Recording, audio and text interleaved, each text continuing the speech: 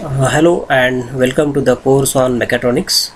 So today we will learn unit number 5 that is frequency domain modeling and analysis. I am Dr. L.S. Dhamande from Sanjivani College of Engineering Kopargaon. Uh, we will initially see the syllabus of this particular unit. So first of all we will see that it consists of the transfer function based modeling of mechanical, thermal and fluid system. Then we'll see the concept of poles and zeros then we'll understand the stability analysis using Routh-Hurwitz criteria, Bode plots, introduction to Bode plot, gain margin, phase margin, relative stability analysis. In the frequency domain parameters, we will understand the natural frequency, damping frequency and damping factor. And finally, we'll see the mapping of pole zero plot with damping factor, natural frequency and unit step response so first we'll try to understand that what is the actually importance of modeling any system. So this is required to understand and control complex systems. One must obtain quantitative mathematical models of these systems to analyze the relationship between the system variables. Because any system if you consider it will be having so many number of parameters. So what is the effect of one parameter over the other? And how different if I vary one of the parameter of it so what, how other parameters will vary with respect to time that we have to analyze. And therefore we need to have a mathematical relationship of all these different parameters of the system. So because the systems under considerations are dynamic in nature the descriptive equations are usually differential. It means definitely we are going to differentiate these uh, all the parameters in terms of time. So we have to see the response of these uh, different parameters with respect to time so in this case what we are doing is uh, this uh, Laplace transform can be used to obtain a solution describing the operation of the system.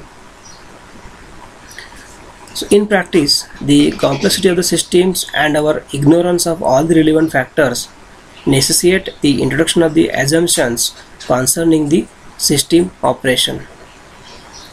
So we know that there are if you make a mathematical model of the system that mathematical model will be in terms of a differential equation.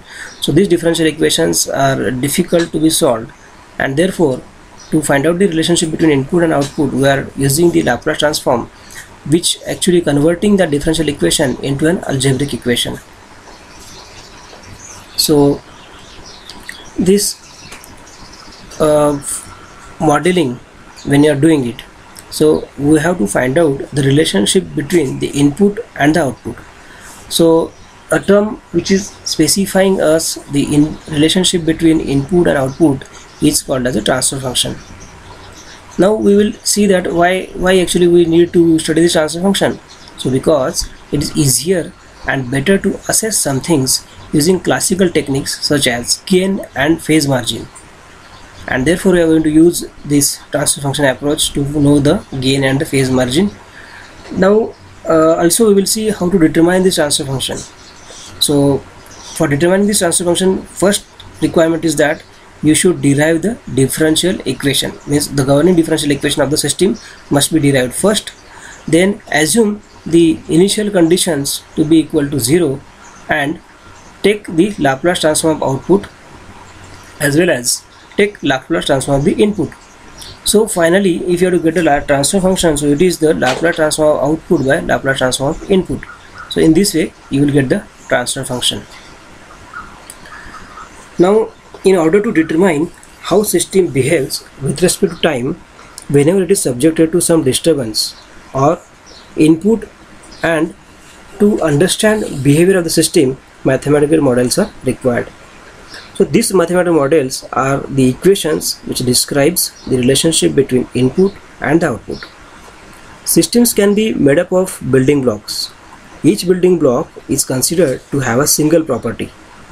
For example, a mechanical system can be considered to be made up of three major building blocks. What are those three major building blocks? So one is the spring, mass and the damper. These are the major three components of a mechanical system. So spring has the property of the stiffness, mass has the property of inertia and damper has the property of damping. so likewise uh, in electrical systems also there are uh, some basic building blocks which is nothing but the resistor capacitor and inductor so for forming mathematical model it is required to consider the governing equation of each building block so for example if you see here this, there is a spring so if you apply a displacement to this particular spring uh, it means if you extend it or if you contract the spring definitely there will be certain force that will be stored into this particular spring.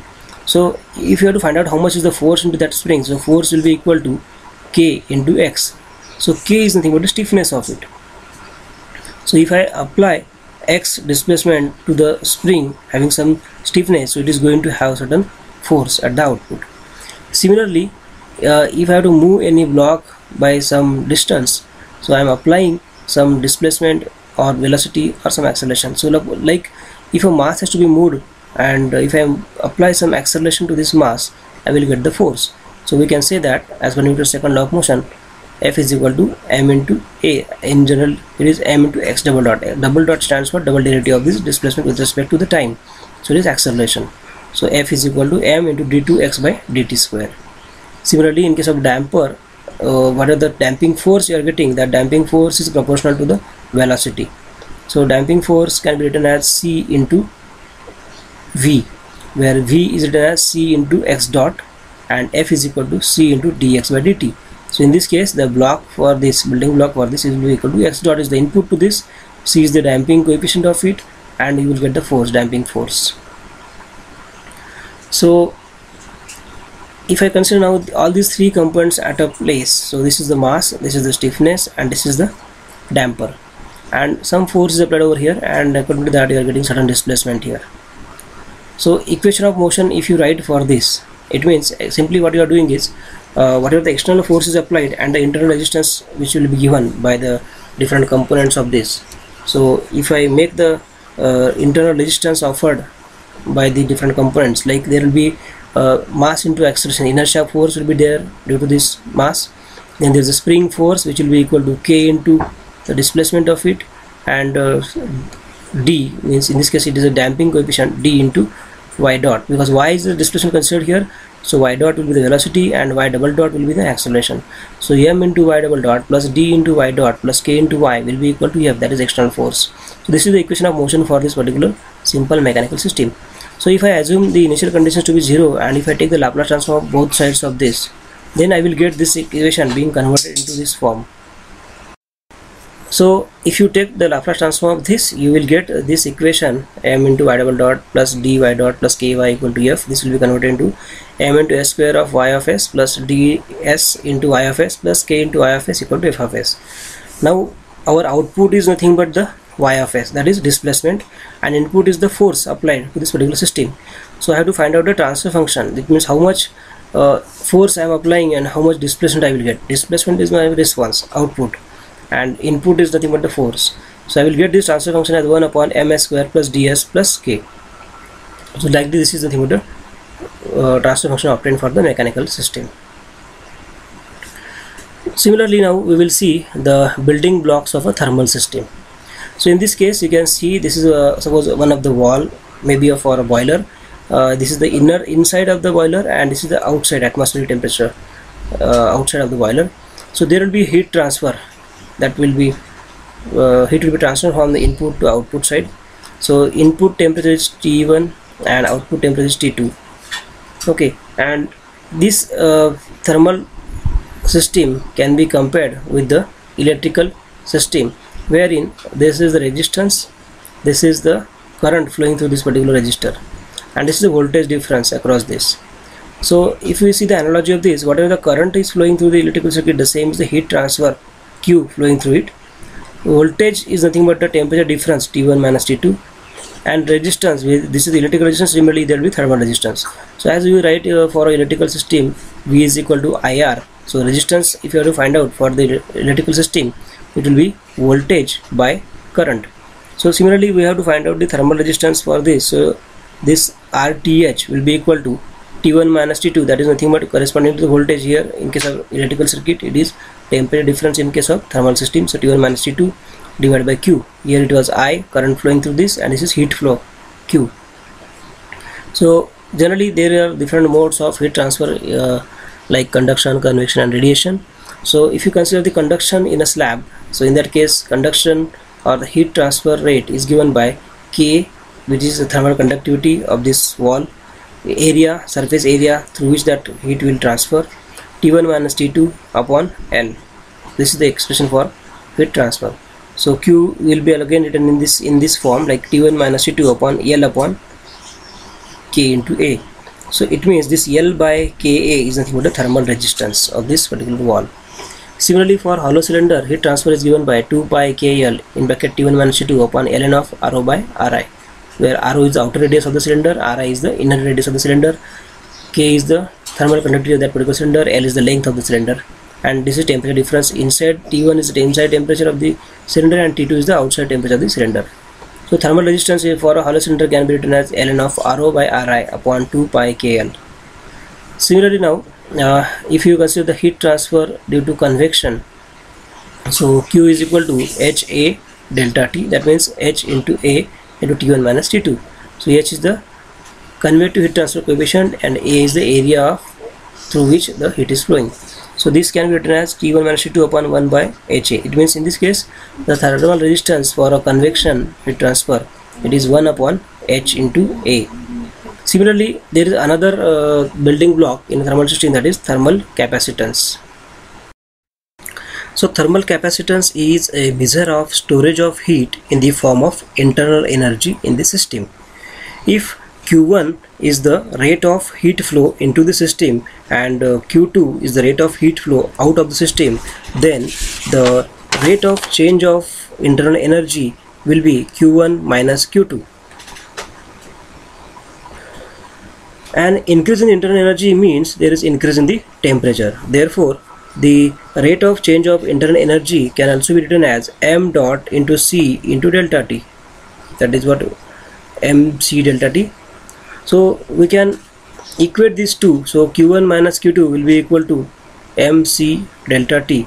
So this q1 minus q2 will be equal to c into delta t where this c is nothing but m dot into c that is nothing but called as thermal capacitance. So uh, let us try to understand a very simple uh, model of a thermal system. So in this case a closed insulated vessel filled with liquid and contains an electrical heater immersed in the liquid. So heating element is contained within the metal jacket that has a thermal resistance of RHL. So thermal resistance of vessel and its insulation is RLA. Heater has a thermal capacitance of CH and liquid has a thermal capacitance of Cl. So heater temperature is TH and that of the liquid is TL. This is assumed to be uniform due to this mixer the mixer is provided so that the temperature of the uh, liquid inside this container will be assumed to be constant. So rate at which the energy is supplied to the heating element is qi.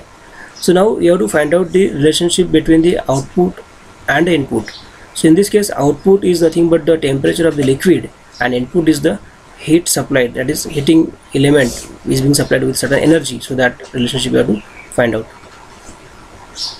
So here we can find out first of all the equation of th in terms of the TL, TH and QI like you will get TH is equal to 1 upon CH into RHL in between bracket TL minus TH plus 1 by CH into QI. Similarly TL will be equal to 1 upon CL into in bracket TH minus TL by RHL minus TL by RHL. So if we take the Laplace transform this equation number 1 and determine the equation of THS and then take the Laplace transform of equation 2 and determine the equation for TLS and substitute the equation for THS in it then we will get the transfer function between output and input that is TL of S by QI of S. So now we will see the building blocks of a hydraulic or the fluid system. So here we can see there is a uh, first building block that is hydraulic resistance is considered. So uh, in fluid system in general there are three building blocks which can be considered to be equivalent of electrical resistance capacitance and inductance. For hydraulic systems volume flow rate is the input which is equivalent to current and uh, and pressure difference is the output which is equivalent to the potential difference voltage in the electrical systems. So you can see here there is a one pipe is shown and there is a wall. The pressure P1 on the input side of it pressure P2 at the output side of it and there is certain flow flowing through this particular pipe that is Q similarly here there is some uh, sudden change in the flow passage is specified there is sudden reduct change in cross section so this is input side pressure output side pressure. So pressure difference is going to be there and accordingly flow rate of the system will be there. So here whenever the fluid is flowing through the pipe it comes across a wall or a sudden decrease in the cross section then the hydraulic resistance will be present. So for fluid systems pressure difference is directly proportional to the discharge. That is P1 minus P2 is proportional to the Q. And if I remove this sign of proportionality so P1 minus P2 is equal to R into Q. It means this R here is nothing but the hydraulic resistance which is equal to P1 minus P2 by Q similarly now we will see uh, the next building block that is hydraulic capacitance. So you can see here there is one tank. There is a inlet flow to this tank. There is outlet flow from this tank. Here there is a wall at the outlet. And uh, it H is specifying the particular height of this tank. So definitely this tank uh, it is possible to fill this particular tank if this supply of the quantity of the liquid to this tank is more than the flow which is taken out from this tank so that means when the q1 is more than q2 so it is a term uh, this capacitance is a term which is used to describe the energy stored within the fluid whenever it is stored in the form of potential energy. So in this figure you can see that uh, q1 is uh, fluid supplied and q2 uh, is the volume flow rate out of the tank such that this q1 and q2 is. Means q1 is more than q2 so the rate of change of volume of the liquid in the tank will be definitely q1 minus q2 now the volume flow of liquid in a tank that is V is equal to A into H. So area of the cross-section area of the tank and height that gives us the volume of liquid in this tank. So rate of change of volume of this particular tank if I define out I will differentiate this A into H with respect to d by dt so d by dt of this A into H. Now I am equating this rate of change of volume of the liquid in the tank which is being uh, actually dependent on supply of fluid and taken out fluid Q1 and Q2 so these two I am going to equate. So Q1 minus Q2 is equal to d by dt of A into H we also know that this uh, pressure difference means inside in uh, pressure over here and pressure over here at the output. So P1 minus P2 is equal to nothing but the P pressure acting over there on the tank which is equal to rho GH and therefore we get this H is equal to P by rho G. Now using this uh, equation 4, we are calling this as equation number 4 for H. And uh, this equation number 3 we got for Q1 minus Q2 into d by dt, d by dt of A into H. So I am putting this value here of uh, H is equal to P by rho G in this equation. So Q1 minus Q2 will be equal to d by dt of A into P by rho G now same is being transferred on this side so q1 minus q2 is equal to a by rho g is taken outside as a constant and dp by dt so q1 minus q2 will be equal to c into dp by dt where this c is nothing but the hydraulic capacitance which depends on cross-sectional area of the tank then density of the liquid and g gravitational constant. Now the third building block of hydraulic or the fluid system is the hydraulic inertance so consider here a pipe through which the fluid is flowing and uh, a particular control volume is being contained between the section 11 and 22 now see uh, the pressure P1 and P2 with the intensities of pressure at section 11 and 22 so the force at section 11 is equal to P1 into A and force at section 22 is P2 into A. So the net force on this control volume is equal to P1 minus P2 into A. So we are marking this as equation number 1. So now according to the Newton's uh, second law, the force is equal to mass into acceleration. So I will write the mass into dv by dt that is change in velocity per unit time that is acceleration. So using this uh, 1 and 2 I will write p1 minus p2 into a is equal to m into dv by dt. So mass of fluid contained in the control volume now is calculated by m is equal to rho into volume where this m is equal to again we'll write uh, rho into a into l. Now this value of m that is rho into al will put in the equation number 3 over here. So we will get p1 minus p2 into a equal to rho al dv by dt. So they are marking this as equation number 4 so we know that the discharge q is nothing but equal to area and velocity area of the pipe and velocity of the liquid which is passing through that particular pipe. So if I differentiate this uh, q with respect to t so it is dq by dt will be equal to a into dv by dt. So now we have got this equation here that is uh, rho into dv by dt is here rho al dv by dt.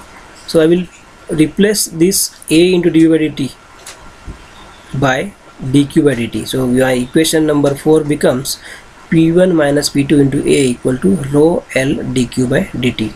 So p1 minus p2 is equal to now I will take this a on the right hand side. So rho l by a dq by dt. Now p1 minus p2 again I will write equal to i into dq by dt where this i is nothing but rho into l by a and this is called as hydraulic inertance okay? So next we will see the how we can model a hydraulic system. Because initially we have seen the basic building blocks of this hydraulic system. Now we will try to make the uh, equation of uh, this particular system. So here in this case it is given to develop a mathematical model for a hydraulic system which is shown in the figure. So this is supply fluid q1 fluid uh, flowing out from this is uh, q2 there is a wall provided here. And this is nothing but the height edge of this particular tank so what are the building blocks which are available with us uh, here in this case are hydraulic resistance.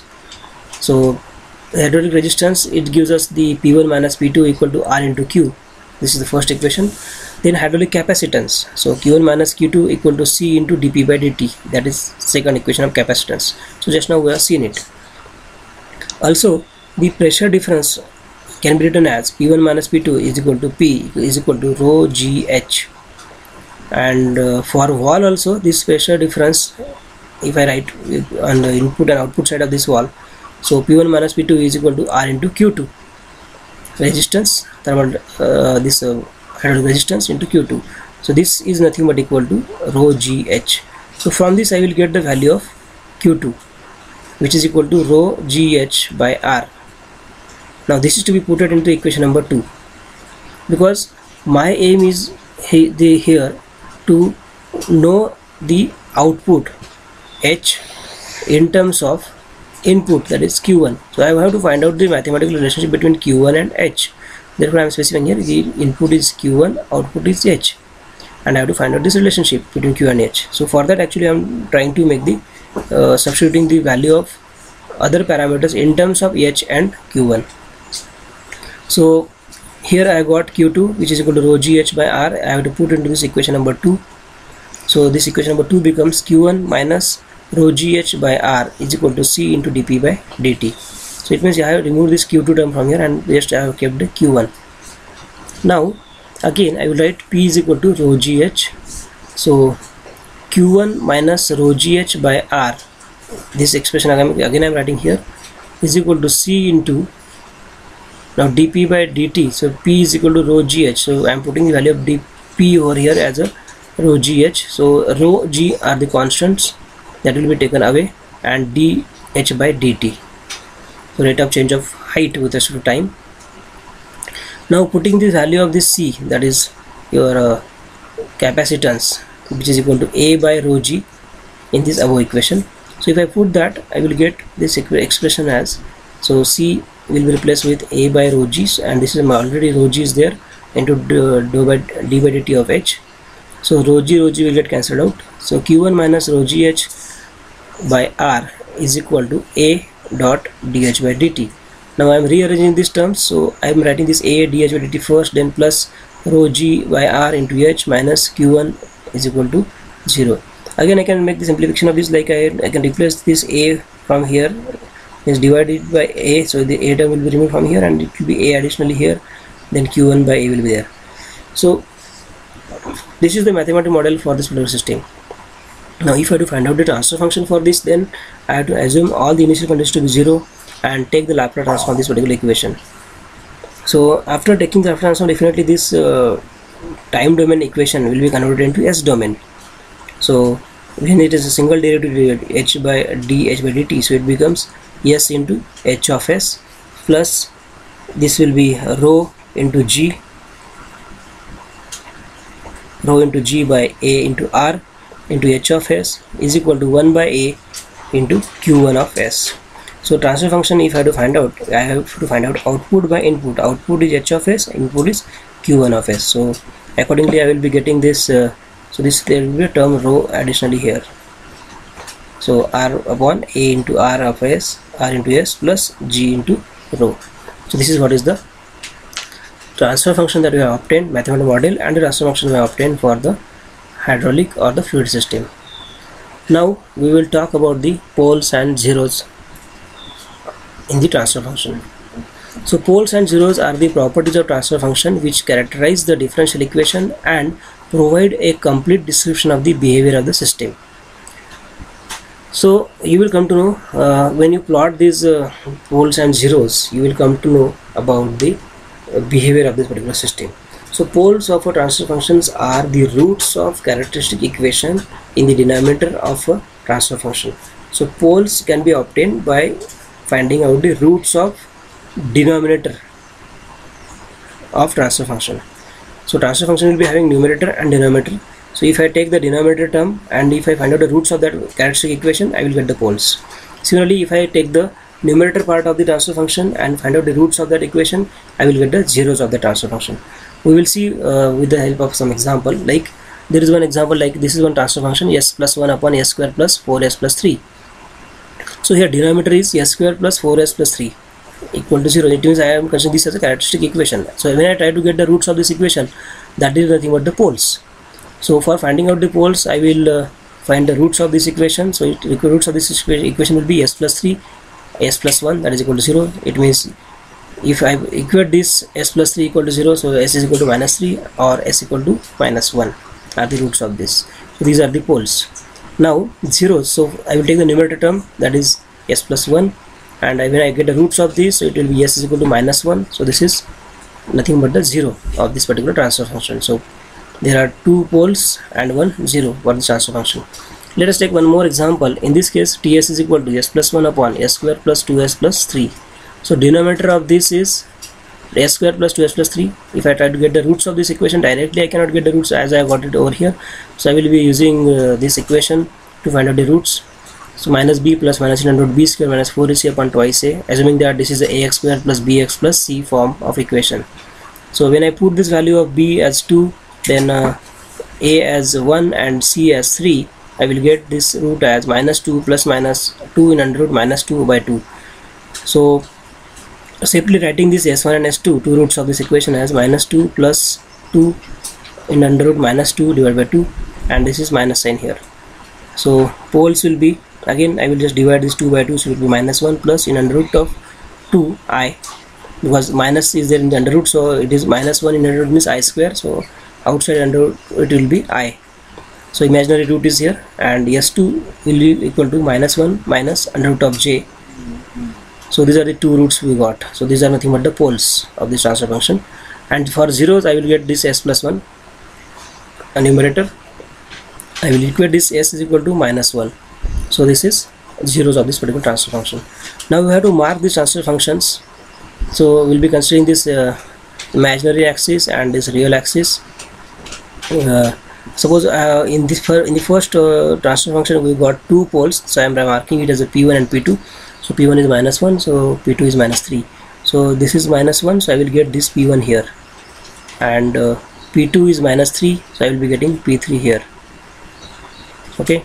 Now z1 that is again minus 1 so p1 and z1 that is again at the same location now p3 which is i got in from this transfer function now suppose i have to plot for this system. So this system is different one.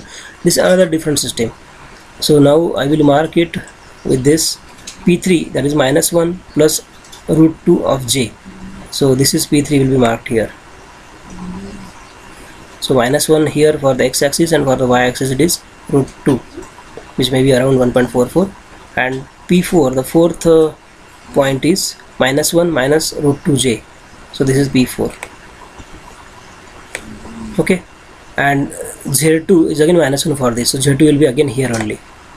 So like this we have plotted this zeros and poles and zeros of this particular function.